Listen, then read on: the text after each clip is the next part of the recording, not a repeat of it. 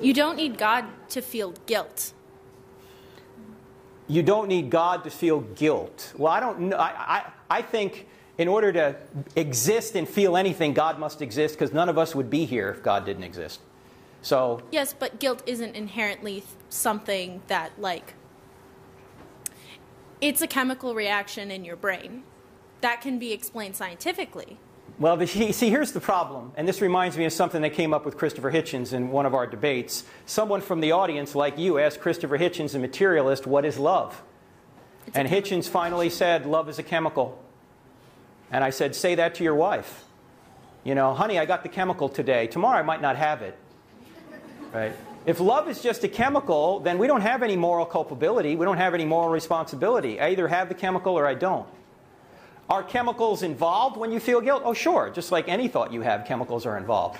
But the thought itself isn't purely just chemicals. The thought that you're having right now when you ask a question is not just chemicals going on in your mind. You act, there's an immaterial reality called your mind that chemicals interact with, but that mind is you thinking about a particular, uh, a particular issue and asking a question about it.